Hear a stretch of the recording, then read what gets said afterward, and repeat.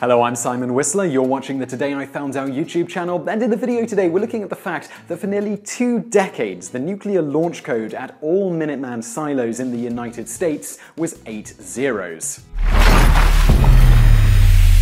During the height of the Cold War, the US military put such an emphasis on rapid response to an attack on American soil that to minimize any foreseeable delay in launching a nuclear missile, for nearly two decades they intentionally set the launch codes at every silo in the United States to a string of eight zeros. We guess the first thing that we need to address in this video is how this came to be in the first place. Well, in 1962, JFK signs the National Action Security Memorandum 160, which was supposed to ensure that every nuclear weapon in the US was fitted with a Permissive Action Link, PAL, basically a small device that ensured that the missile could be launched with only the right code and with the right authority. There was particularly a concern that the nuclear missiles the United States had stationed in other countries, some of which had somewhat unstable leaderships, could potentially be seized by those governments and launched.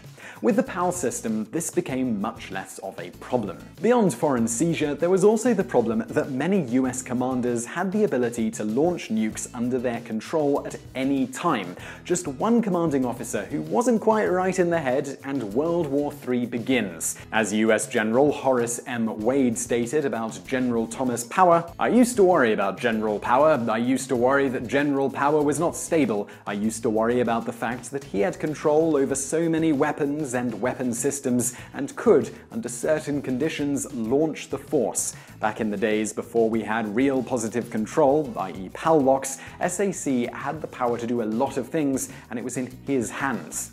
And he knew it. To give you an idea of how secure the PAL system was at this time, bypassing one was described once as being about as complex as performing a tonsillectomy while entering the patient from the wrong end. This system was supposed to be essentially hotwire proof, making sure only people with the correct codes could activate the nuclear weapons and launch the missiles. However, though the devices were supposed to be fitted on every nuclear missile after JFK issued his memorandum, the military continually dragged its heels on the matter.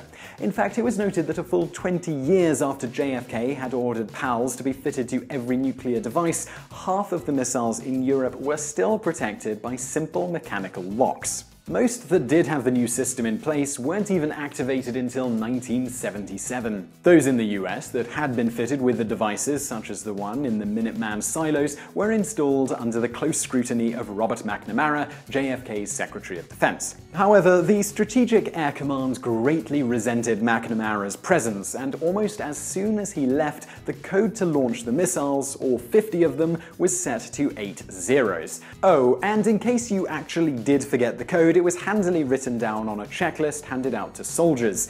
As Dr. Bruce G. Blair, who was once a Minuteman launch officer, stated, Our launch checklist in fact instructed us, the firing crew, to double check the locking panel in our underground launch bunker to ensure that no digits other than zero had been inadvertently dialed into the panel. This ensured that there was no need to wait for presidential confirmation that would have just wasted valuable Russian nuking time. To be fair, there was also the possibility that command centers or communication lines could be wiped out, so having a bunch of nuclear missiles sitting around unlaunchable because nobody had the code was seen as a greater risk by the military brass than a few soldiers simply deciding to launch the missiles without proper authorization. Dr. Blair, whose resume to date is far too long to write out here, is the one who broke this 8 zeros news to the world in his 2004 article Keeping Presidents in the Nuclear dark. He also outlined the significant disconnect between the nation's elected leaders and the military when it came to nuclear weapons during the Cold War. Dr. Blair had previously made waves in 1977 when he wrote another article entitled The Terrorist Threat to World Nuclear Programs. He had first attempted to communicate the serious security problems at the nuclear silos to congressmen starting around 1973.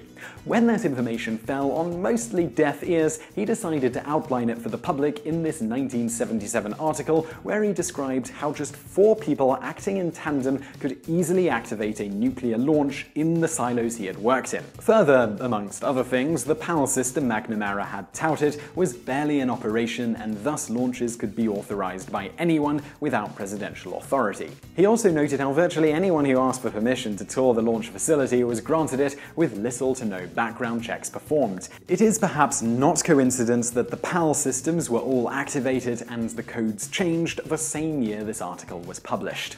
So, to recap, for around 20 years, the Strategic Air Commands went out of their way to make launching a nuclear missile as easy and quick as possible. To be fair, they had their reasons, such as the fact that the soldiers in the silos, in the case of a real nuclear war, may have needed to be able to launch the missiles without being able to contact anyone on the outside.